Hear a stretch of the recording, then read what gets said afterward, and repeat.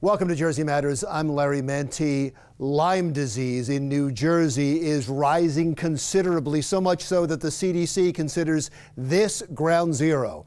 We will talk to a scientist from the CDC and New Jersey Congressman Chris Smith, who is heading up the fight against the disease. Also on today's show, lead in the drinking water in New Jersey has become a big problem. We'll tell you how one town is dealing with it. And did you know there's only one township in the country with the word flag in its name? And it's right here in New Jersey. We'll take you there. And now, our interview with Republican Congressman Chris Smith from the 4th District in New Jersey. I know there's been a sharp increase in, in Lyme disease in New Jersey and across the country, but in New Jersey, the numbers have been startling. Why? Well, it's been exploding. Um, there's no natural predator to it. Uh, and it just keeps increasing, increasing. The estimates now of people who are sick from Lyme disease is now upwards of 400,000 400,000 uh, new cases per year. Um, that is, and half of those, more than half, are children. So there's a an epidemic of disease, and it's a very serious disease. If caught early, like within days, there's a good chance that the antibiotics, mostly doxycycline, will work. Uh, but most people don't catch it early, it becomes chronic. Uh, it migrates throughout the system, including into the brain, and people get sick and they don't know why. They have brain fog and all these other terrible, terrible symptoms. It's because this tiny bug called the spirochete uh, is loose within their entire system. And I know people that have fought residual effect for years yes. and years and years, and sometimes didn't even know what the problem was, exactly. and it was diagnosed as Lyme disease.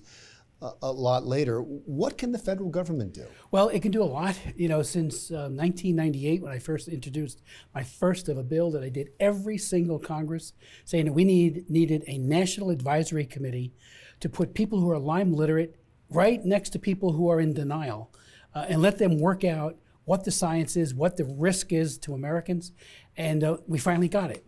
Uh, the 21st Century Cures Act, we put a provision in into that act for this working group. They issued their first report in 2018, and it is a blockbuster. It is the pivot because they have affirmed everything I and so many others have been saying. Pat Smith, who you know is the head of Lyme Disease Association, have been saying not for years but for decades and has been dismissed out of hand by some of the top people at the CDC and NIH. So there's been a transformation about the lethality and the morbidity, the horrible sickness that becomes unleashed in somebody's system uh, when they are bit by a, a, uh, a, you know, a deer tick or a lone star or many others. You know, unfortunately, there's now uh, all kinds of co-inhabiting diseases inside the ticks. So you have not just Lyme, and 82% of all the cases are Lyme, but also other things that are causing that patient to be absolutely miserable and sick and some even die. And from what I understand, there's even there's more species of ticks now that yes. they're coming yeah. over. They're yeah. being imported, and they're bringing not only Lyme disease but other diseases as well. There's no doubt about it that there are at least 18 pathogens that the CDC has recognized.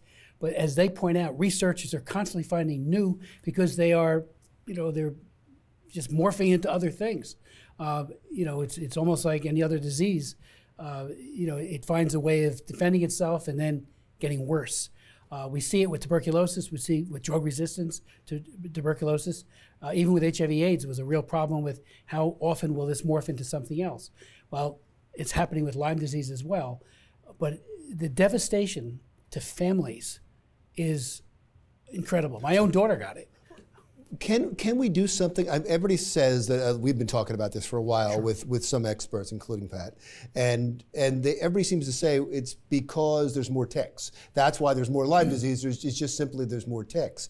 Can we do something to, to reduce the deer population? Isn't that part of the well, solution? It, it, Larry, it's a good question because it's deer, but it's also virtually every type of rodent, including mice, who get infected, uh, and then they drop the ticks who lodge onto them and they often are close to our homes. Uh, deer are too if they're eating your flowers. Or, and mice can bring uh, it in your homes. And mice can actually bring it in your homes, but certainly in proximity. So you go out and you walk in the grass. Uh, you don't do a deer che- uh, a check later. Uh, and next thing you know, two days later, you're wondering, oh my God, what's this bullseye? Uh, what happened here? And the bullseye doesn't always manifest and that becomes even more dangerous because then they miss Well, it. you should get it checked it out should uh, always check it out. immediately. Uh, so that's that's not the solution. Uh, I understand you're talking about increasing funding to the I am. CDC for this problem. I am. D- do you expect that to pass easily? I hope, uh, but frankly, I've been in Congress long enough to know.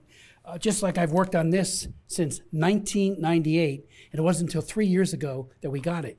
As I will tell people at the town meeting, uh, we almost lost it in the U.S. Senate. There's a group called the Infectious Disease Society of America. They make up the definitions for diseases. Every person that was on the panel that decides what constitutes uh, Lyme disease because they say Lyme that's chronic does not exist, uh, had a conflict of interest. It was so bad that the former Attorney General of Connecticut, Blumenthal, who's now a U.S. Senator, he put some of his people on it, and they found that everyone had contra- conflicts of interest. So much so that he could have prosecuted. Now, they said, oh, we'll fix that. Well, they haven't. So we still have uh, the Flat Earth Society people saying that chronic Lyme doesn't exist. They trivialize. Even this report says that a lot of the patients are discriminated against when they seek care or they go to their, their place of business, What's the conflict of interest with pharmaceutical industry? pharmaceuticals, but also with uh, health insurance corporations, patents that they might own on other things. So, but every one of them. I mean, it wasn't odd. like, I mean, it, it- we've seen this before with revolving doors, you know, in, in the research community, but there's nothing. So it I- sounds like you're getting some headwind. That's we what are you think. definitely getting headwind. And the people who are on this, including Dr. Beard, who you know is We'll be talking the to top minute. person. Yeah. he was on this this this report, this uh, working group. They delved into everything. They they really left no stone unturned. They have a whole series of recommendations uh, that the federal government and anyone who is concerned can follow. Uh, it starts at home with each and every one of us making sure, particularly if you're in proximity to grass or a woodlands area, that you take serious precautions. Right, but let me let me go back to the funding and your bill sure. because I know there used to be a vaccine. There, there was a vaccine for Lyme disease, a- and because of of some media stories about the effects of it, and also uh, because it just the demand wasn't there, it, it went away. It, it went away, and but it was effective, and it was proved to be safe. Would increased funding make that available Well, again? great question again, but they are. I know that the researchers are looking at, you know, using LYMErix, uh, which is used in our dogs and pets today, um, with with some improvements. There were some allegations that some adverse reporting. Arthritis problems, Arthritis was, yeah, was, joints, was one pain. of them, and they're looking to see if they can overcome that.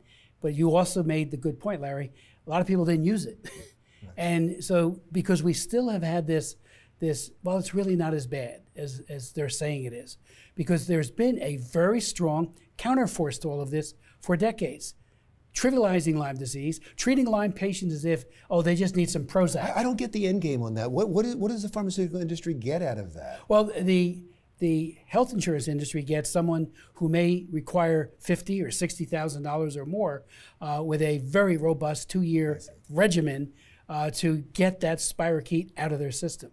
Uh, instead, they say you know months worth of doxycycline and you're home free, and after that you're dealing with symptoms uh, that are just you know what, what's causing the symptoms?